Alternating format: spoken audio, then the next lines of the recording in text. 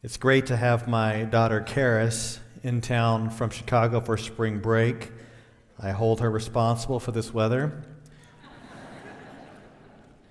Many of you know that she attends Trinity International University, but you may not know that she actually attends our former church in Evanston, and she is a integral part of that church and serves in a variety of ways.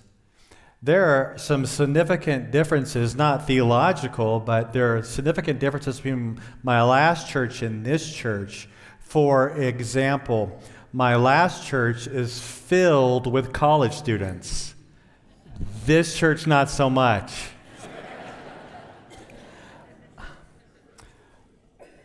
you may not believe this, but my last church, size about like this, urban church, no parking. Can you imagine a size of a church like this? No parking? How would you like to go to that church? Yeah. Another significant difference is that we own this wonderful building. And in the 30 plus years of my last church, we have never owned a building. In fact, while I was there, we were in three different locations. For two years, we were at the movie theater, moving in and out every single Sunday. And for the last eight years, we've met in the uh, Music Institute of Chicago, which is a beautiful $9 million building that we would meet in every single Sunday. But my first four years there, we were actually permanently in the basement of an old Marshall Fields. Remember that store? Downtown area of Evanston, and above us was a Panera restaurant.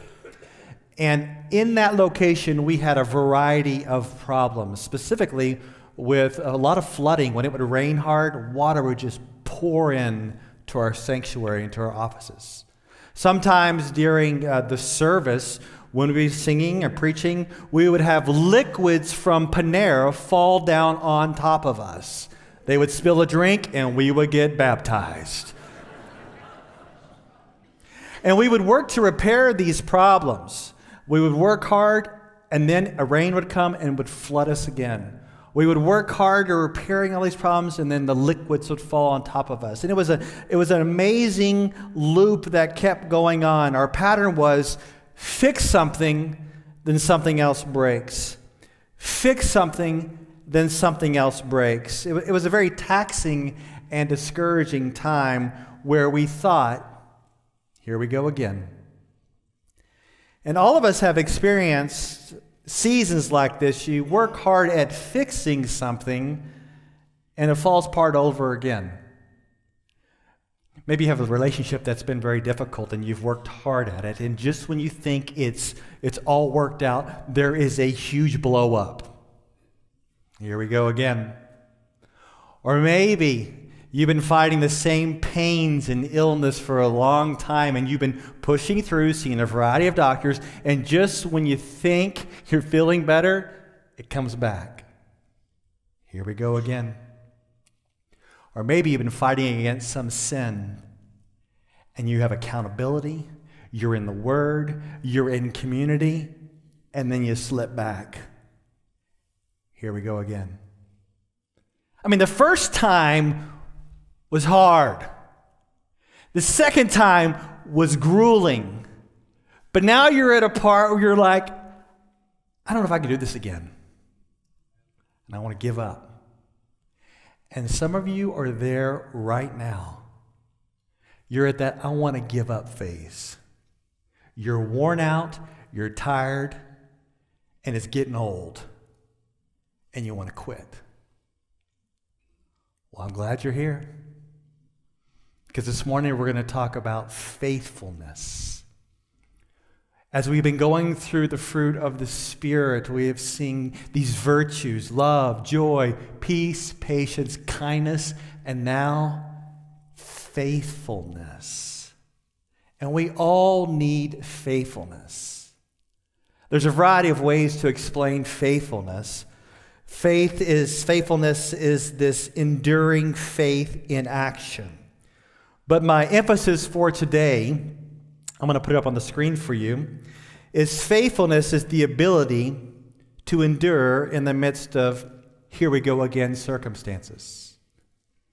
Faithfulness is the ability to endure in the midst of here we go again circumstances. And this morning we're going to look at a group of people from the Word of God who were in a here we go again situation. As we see their story in Hebrews chapter 10, it's a group of believers that after they became Christians, they underwent severe persecution but they were firm in their faith. But it seems as if the trials had lingered or intensified, and they weren't looking so good the second time around. In fact, some of the Hebrews were considering bailing on the Christian faith because the persecution and the trials were just too much. They needed endurance. Let's just start with verse 36.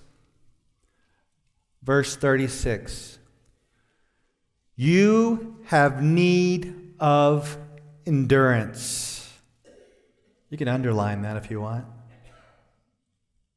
You may not be considering bailing on your faith, but like some of the Hebrews, you may need to be faithful, continue to do the will of God. You have need of endurance. And the way that they are going to be encouraged to endure in faithfulness is the same way I'm going to encourage you this morning. You see, they are encouraged to endure with this little flashback action and a flash uh, forward action. I don't know if you ever watch TV shows, right? Where they have these flashbacks to what happened in the past.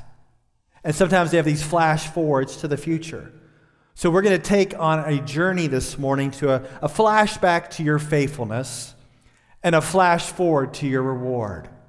A flashback to your faithfulness and a flash forward to your reward. Let's start back with a flashback to your faithfulness in verse 32. Look at verse 32. But remember the former days when, after being enlightened, you endured a great, a great conflict of sufferings. The author is intentionally calling them to remember the early days of their conversion and faithfulness. Yes, of course, God was faithful through them, but He wants them to reflect on their faithfulness and their faithful actions as they endured a great conflict of suffering. Look at verse 33 partly by being made a public spectacle through reproaches and tribulations, and partly by becoming sharers with those who were so treated. For you showed sympathy to the prisoners and accepted joyfully the seizure of your property, knowing that you have for yourselves a better possession and a lasting one. Perhaps this is believers in Christ who are Jews have been converted and they're being persecuted by fellow Jews. Or maybe this is the Roman persecution in AD 49 under Claudius. And whichever group is behind the persecution, it's not clear, but we can see some of the details in their suffering. Look again at verse 33. Looks like they were made a public spectacle through reproaches and tribulation. The language here is similar to someone up on a stage in front of everyone. As the Hebrew Christians were on the stage of the world, they were ridiculed and persecuted for their faith in Christ, just as Jesus Christ was publicly insulted and physically beaten leading up to his crucifixion. Now it was falling on these early Christians as they were publicly insulted and persecuted. Even when it didn't happen to them personally, they would attach themselves to those who were persecuted, as we see again in verse 33. It says that they were sharers with those who were so treated. If a Christian was thrown into jail, they would go and visit them. And it even says that to a point, their stuff was plundered. It was confiscated due to them being a Christian. Maybe it was stolen while they were in jail. Or maybe someone came along from the Roman government, government and took it. But it didn't bother them, as it says specifically in verse 34 that they were full of joy and accepted joyfully the seizure of your property. I don't know about you, but I, I could not do that. But I want to be able to do that, right? Taking my stuff, I have joy in the Lord. It didn't bother them. They had joy because they knew they had better and lasting possessions in Christ in heaven. Now, this kind of, of faithfulness we see here requires a certain mentality. Look again at verse 32. Verse 32 says, But remember the former days when, after being enlightened, you endured a great conflict of suffering. Notice the word conflict. Another appropriate translation would be battle or contest. The Greek word behind this is where we get our word athletics. It's used here to show how they aggressively stood firm in their faith in the midst of suffering. They had a battle mentality. One scholar put it like this that they didn't suffer passively as a criminal, but they suffered as an athlete. They did not take on a victim mentality that just sits passively by and is swept away by the punishment, and then they end up denouncing their faith. They were like an athlete that kept standing firm in Christ and not renouncing their faith. They had this battle mentality. And I really think this athletic imagery is appropriate for the Christian life because if you don't understand that the Christian life is a battle, and by the way, it always will be until we're with Jesus, we'll be battling and fighting till we're with the Lord. And if we don't understand that it's this battle mentality and this athletic imagery, we will fall into a victim mentality where you end up blaming your problems or someone or something else. I don't know if there's anybody here like that but you are a master at blame shifting. You're saying, well, the reason why I sin, or the reason why I got angry, or the reason why I did that is it's someone else's fault. Maybe it's your parents' fault, or your coworker's fault, or your friend's fault. But the best scapegoat is always your spouse. It's always their fault for why I did what I did. And it's this victim mentality that will do you in. Because the problem is always somewhere out there and never in here. And you may argue, say, Pastor, but if they weren't there, I would not do that. Well, something was in you, and they just drew it out. But not the Hebrews. They weren't playing the victim. They would get beat up for their faith. They had their stuff taken and they were thrown in prison. Yet they kept on spiritually battling. And I want to say something a little odd to you today. I want to tell you that you are not a victim, but you are an athletic child of God. You are not a victim, but you are an athletic child of God. Who cares if you don't have an ounce of athleticism?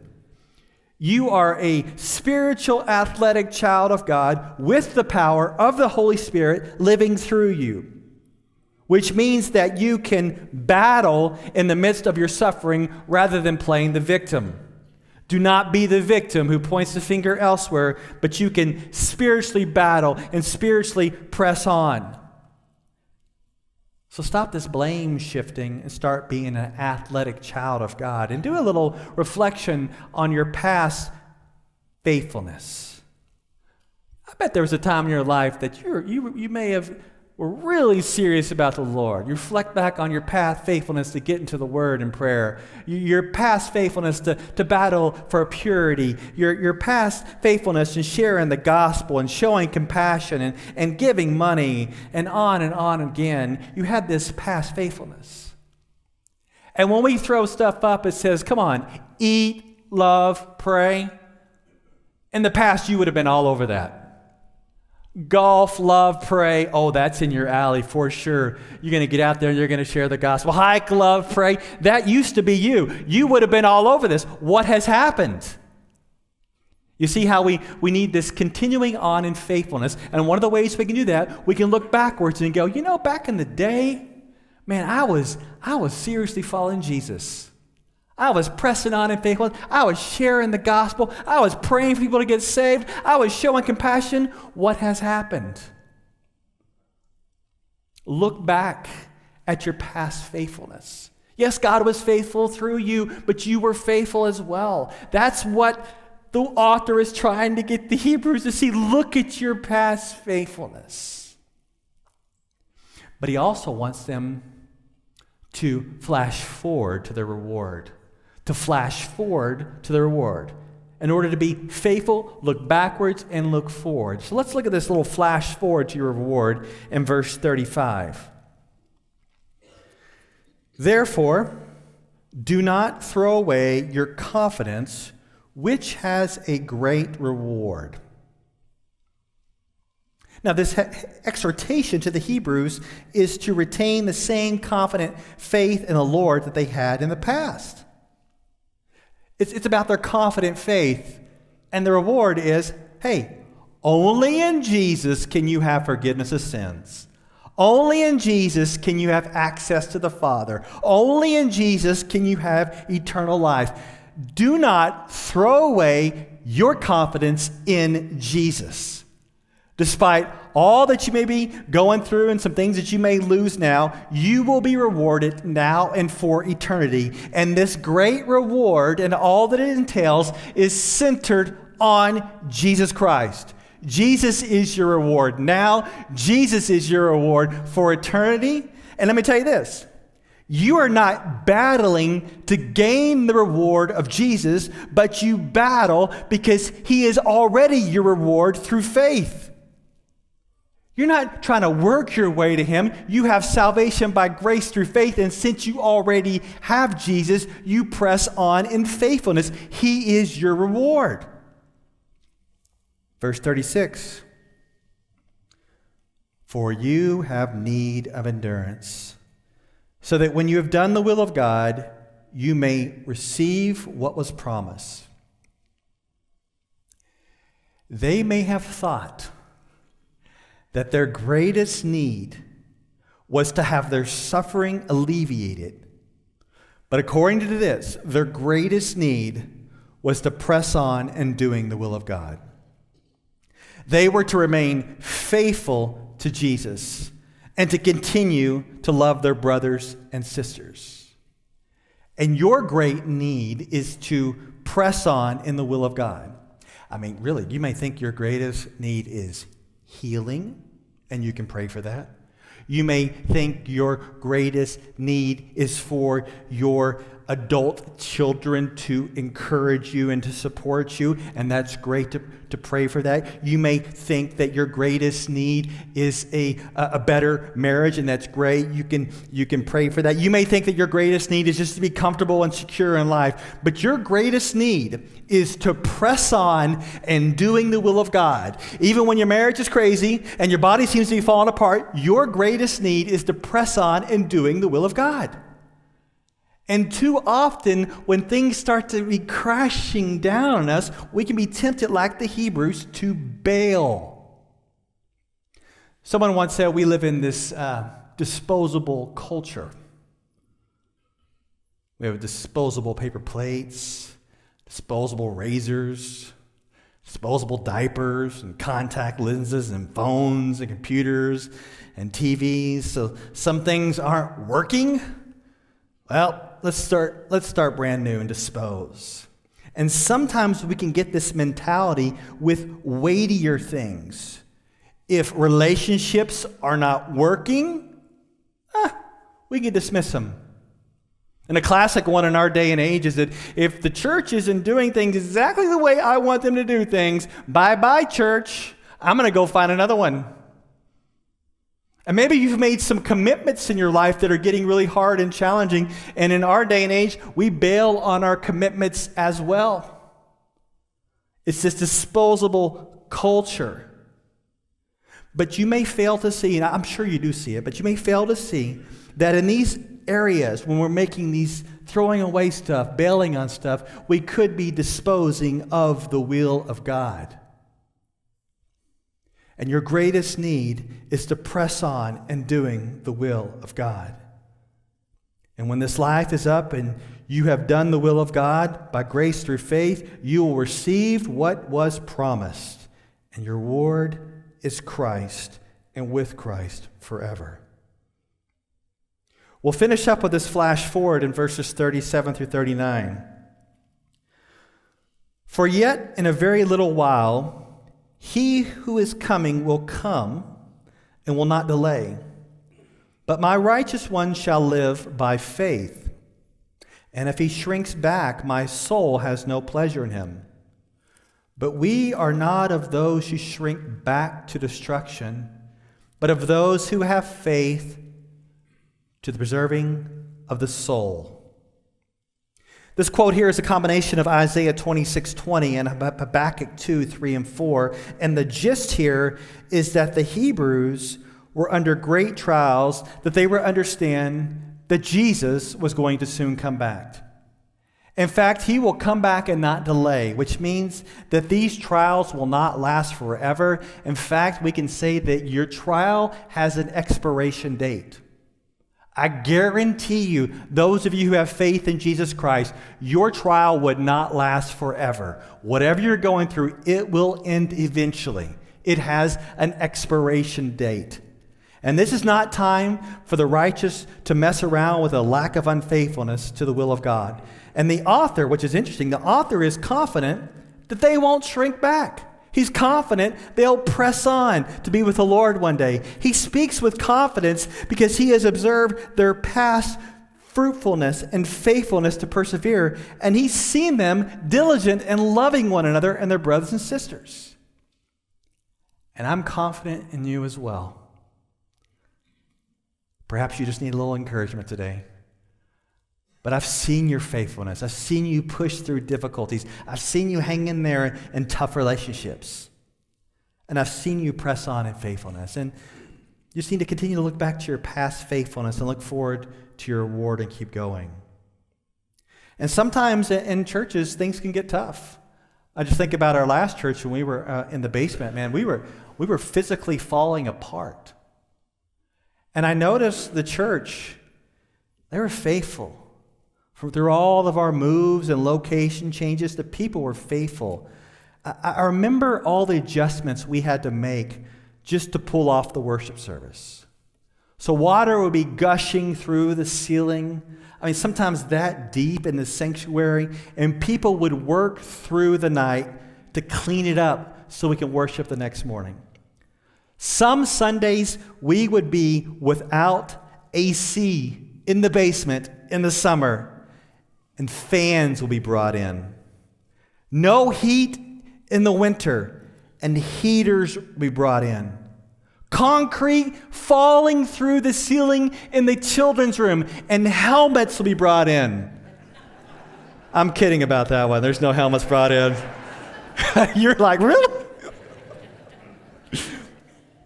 You see, people kept pressing on in faithfulness and pulling things off. And I've seen the same. I've only been here six months, and I've seen the same thing here at VBC. In fact, you guys have been faithful over 30 years. You have pressed on with faithfulness because you know that Christ is your reward now and your reward forever. But personally speaking, a little flashback to your faithfulness flash forward to your reward. And I'm going to end by asking you, uh, you maybe make you feel a little uncomfortable, but I ask you to single out one area of your life to press on in faithfulness. Maybe it's an area where you've been kind of flaky. I don't know if you know that word or ever used that word, flaky, but basically it means not following through. It means slacking off or abdicating your responsibilities. And maybe there's a certain area where you have slacked off. You haven't followed through. And maybe you've quit. And you need to move from being flaky to being faithful. So I'm asking you to narrow it down to that one area of your life where you've kind of quit. Maybe You've stopped leading yourself. And you've been a little flaky with yourself and your relationship with the Lord. You really, back in the day, used to get in the Word, used to pray, but you've been slacking off. Move from flaky to faithfulness in your relationship with the Lord and prayer and, and time in the Word. Maybe you've been a little flaky at church.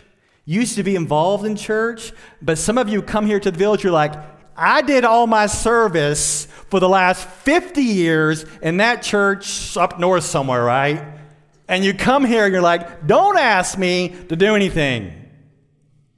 I mean, really, do you think you, you when you retire, you're like, oh, God's like, oh, I'll give them a pass. They don't have to serve in churches. Okay. They've already, they've already done it. That's okay. I give them a pass. No, he doesn't give you a pass. Are you still alive? No pass. You need to be faithful. You need to be faithful. And maybe, to get really personal, it, it is maybe it's an area of sin. Or back in the day, you're like, you're an athletic child of God. You had your dukes up. You're like fighting and boxing sin, but it just kind of wears on you, and you got your guard down, and you're giving in more than not. Maybe it's time to get your guard back up and engage in the battle. And I know one of the most difficult is when your body starts to fail you.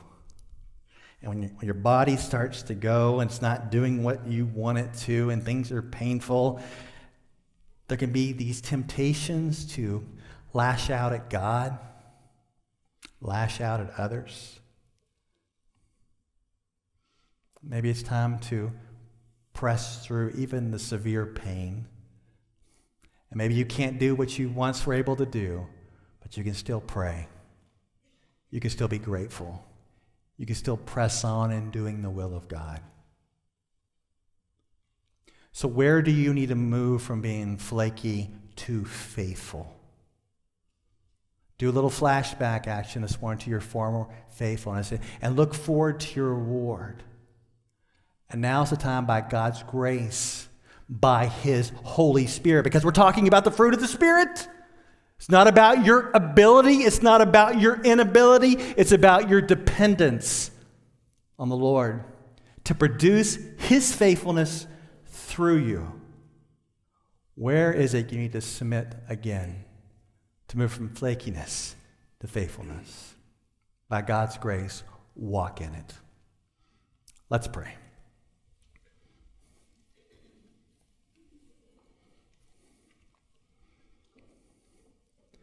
Lord, we just thank you so much for your faithfulness to us. You're actually even faithful when we're faithless. But you have saved us by your grace. You have filled us with your spirit. And even when we feel the same temptations as the Hebrew Christians did about bailing, may we not bail. May we continue on. And I pray for that man or woman in here right now who feels like they are in a struggle against sin and they want to leave their guard down, give them the strength to enter the battle again and to continue to fight by your grace.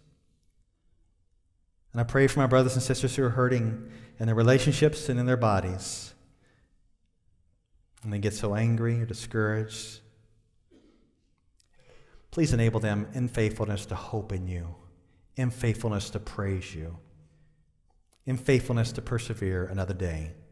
And Lord, what is so good about you, you're not telling us to press on tomorrow. You're just calling us to be faithful today.